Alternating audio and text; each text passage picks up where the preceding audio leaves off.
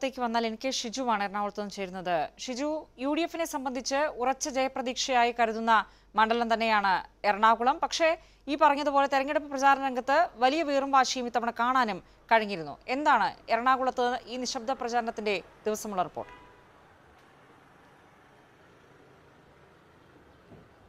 രജനി ഉപതെരഞ്ഞെടുപ്പ് നടക്കുന്ന ഈ അഞ്ച് മണ്ഡലങ്ങളിൽ ഏറ്റവും കൂടുതൽ നഗരസ്വഭാവമുള്ള ഒരു മണ്ഡലമാണ് എറണാകുളം ഇത് കോർപ്പറേഷൻ അതുപോലെ ചേരനല്ലൂർ പഞ്ചായത്ത്. കോർപ്പറേഷനിലെ ഇരുപത്തിനാല് ഡിവിഷനുകളും ചേരനല്ലൂർ പഞ്ചായത്തും ഉൾപ്പെടുന്ന ഈ മണ്ഡലം നഗര കേന്ദ്രീകൃത വികസനമായിരുന്നു വളരെ പ്രധാനപ്പെട്ടത്. മറ്റ് മണ്ഡലങ്ങളിൽ നിന്ന് വിഭിന്നമായി അങ്ങനെ അതിരുവിട്ട് ഏതെങ്കിലും തരത്തിലുള്ള ഒരു വാക്പ്രയോഗങ്ങളൊന്നും ഈ മണ്ഡലത്തിലെ പ്രചരണ ഘട്ടത്തിൽ ഒരു ഒരു- ഒരു ഒരു ഘട്ടത്തിലും വന്നില്ല. പക്ഷേ ശക്തമായ അഴിമതി പാലാരിവട്ടം അഴിമതി അതുപോലെ നഗരത്തിന്റെ വികസന പോരായ്മ നഗരത്തിലെ റോഡുകളുടെ പോരായ്മ അടക്കം നിരവധി വിഷയങ്ങൾ ഈ ഈ തെരഞ്ഞെടുപ്പ് കാലത്ത് പ്രചരണ ആയുധമാക്കി മുന്നണികൾ കൊണ്ടുവന്നു.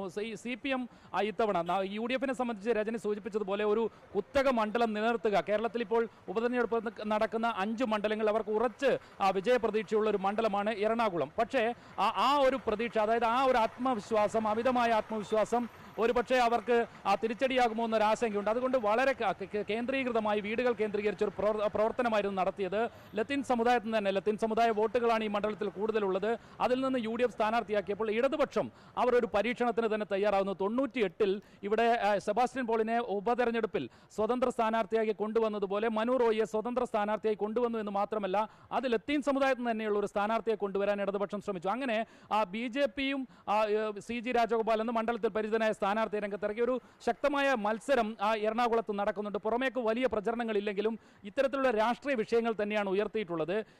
ഈ യു ഡി എഫിനെ സംബന്ധിച്ച് കഴിഞ്ഞ കുറേ തെരഞ്ഞെടുപ്പുകളിൽ ഒന്നും യാതൊരു തരത്തിലുള്ള ഏതെങ്കിലും ഒരു വെല്ലുവിളി ഉയർത്താൻ ഇടതുപക്ഷത്തിന് സാധിച്ചിട്ടില്ല. കഴിഞ്ഞ ലോക്സഭാ തെരഞ്ഞെടുപ്പിൽ ഹൈബി ഈഡന് ഈ മണ്ഡലത്തിൽ നിന്ന് മുപ്പത്തി രണ്ടായിരത്തോളം വോട്ടിന്റെ ലീഡുണ്ട്. ആ രണ്ടായിരത്തി പതിനാറിലെ നിയമസഭാ തെരഞ്ഞെടുപ്പിലും ഇരുപത്തി രണ്ടായിരം വോട്ടിന്റെ ലീഡുണ്ട്. അതുകൊണ്ട് ഒരു വലിയ വെല്ലുവിളി ഇടതുപക്ഷം ഉയർത്തുന്നില്ല എന്നായിരുന്നു യു ഡി എഫിന്റെ ഒരു കണക്കുകൂട്ടിലെങ്കിലും ഈ സ്വതന്ത്ര സ്ഥാനാർത്ഥി എത്രമാത്രം വോട്ടുകൾ പിടിക്കുമെന്നതിനെ ആശ്രയിച്ചാണ് ഇപ്പോൾ ഈ യു ഡി എഫിന്റെയും വിജയപ്രതീക്ഷ നിൽക്കുന്നത്. അതുകൊണ്ട് ഒരു വലിയ ലീഡിനെ കുറിച്ച് അവർ സംസാരിക്കുന്നില്ല. വിജയം ഉറപ്പാണ് എന്ന് തന്നെയാണ് യു പറയുന്നത്. മണ്ഡലത്തിൽ നേരത്തെ ഞാൻ സൂചിപ്പിച്ചതുപോലെ പാലാരിവട്ടം നഗരത്തിലെ റോഡുകൾ അടക്കമുള്ള നിരവധി വിഷയങ്ങൾ കഴിഞ്ഞ മൂന്നാഴ്ച അവർ വീട് വീടാന്തരം കയറിയുള്ള ഒരു ക്യാമ്പയിനാണ് ഇടതുപക്ഷം നടത്തിയത്. തെരഞ്ഞെടുപ്പിൽ ഒരു വലിയ പോളിംഗ് ഉണ്ടായില്ലെങ്കിൽ ഒരു ശക്തമായ മത്സരം ഇടതുപക്ഷത്തിന് നടത്താൻ കഴിയുമെന്നൊരു പ്രതീക്ഷ തന്നെയാണ് ഈ ഇടതുപക്ഷം നിലത്തുന്നത് ബി ജെ പി ആവട്ടെ അവർക്ക് ക്രമാനുഗതമായ വോട്ട് വർധനവാണ് അവർ ലക്ഷ്യമിടുന്നത്. കഴിഞ്ഞ തെരഞ്ഞെടുപ്പുകളിൽ രണ്ടായിരത്തി പതിനൊന്നിൽ ഇതേ സ്ഥാനാർത്ഥി സി ജി രാജഗോപാൽ മത്സരിച്ചപ്പോൾ ആറായിരം ആയിരുന്നത്.